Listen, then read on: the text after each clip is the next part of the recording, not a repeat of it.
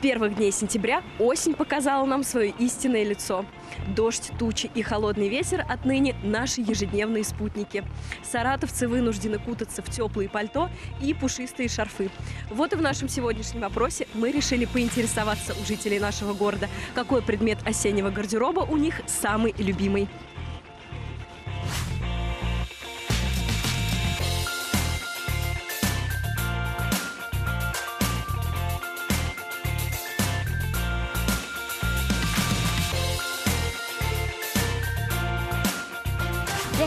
Я люблю носить курточку с пятышком в горошек. Мой любимый предмет осеннего гардероба – это пальто, потому что оно удобное, сочетается со всеми видами одежды и теплое. Мой любимый осенний гардероб – это берцы. Я предпочитаю очень носить куртки, потому что удобно, короткое движение не сковывает, то поэтому. И, как говорится, от дождя, осень все-таки дожди, и от дождя отличная вещь. Легкое пальто и легкая шляпка. И все. Теплая куртка, наверное.